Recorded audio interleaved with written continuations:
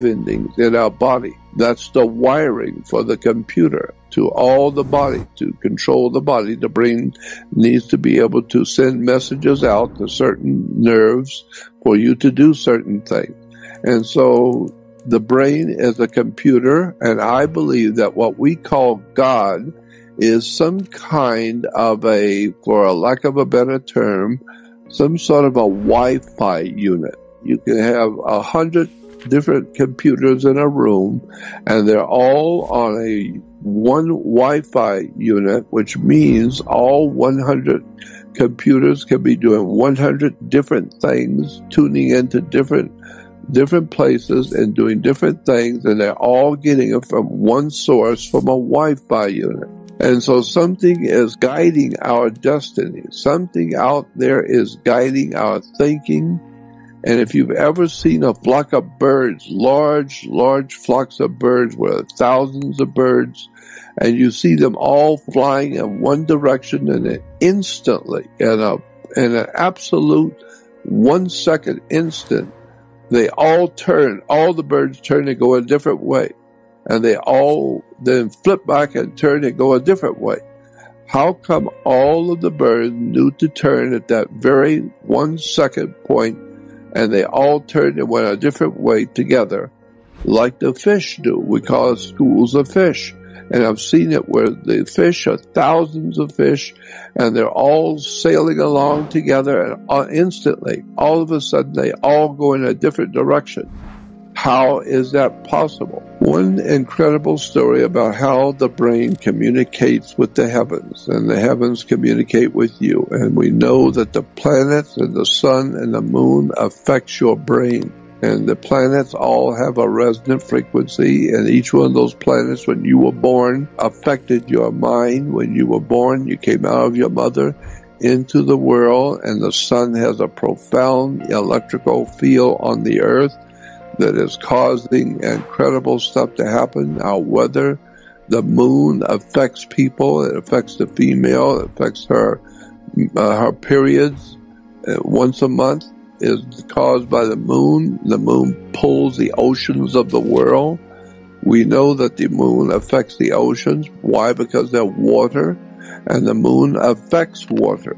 This is why your body is like 76% water. So how does the moon affect you at the full moon?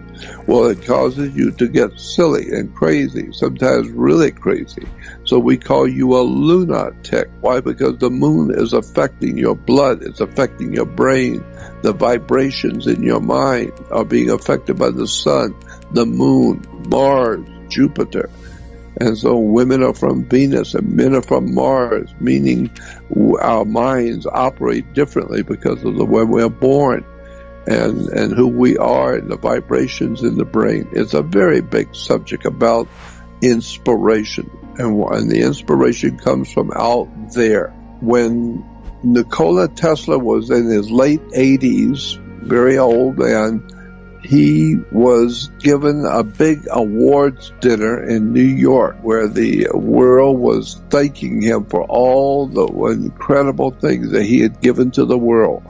And, uh, and he said, Nikola Tesla spoke to the audience and he said, I have to tell you how I got my ideas to do what I've done. He said, every evening before bed, I will put a, a, a notepad on the little table next to my bed with a pen or a pencil. And he said, and every morning when I wake up, there's a written invention on the pad. Somebody comes into my room at night and writes down an invention. And, and the next morning I get up and it's all written out for me. And so I just go to my laboratory and follow the instructions and I invented radio or I invented uh, alternating current, or I made this invention or that invention. And today, Nikola Tesla has lit the world and given us radio and, and all kinds of wonderful things this man gave to the world.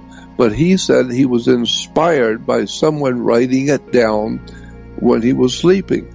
And so that's inspiration. To inspire comes from the word spire, to like perspire, inspire. And so Spire is to breathe together. Breathing is spire. And so someone was breathing into him their ideas and coming from somewhere else. So that was one point I wanted to make about inspiration is it doesn't necessarily come from you. It comes from out there.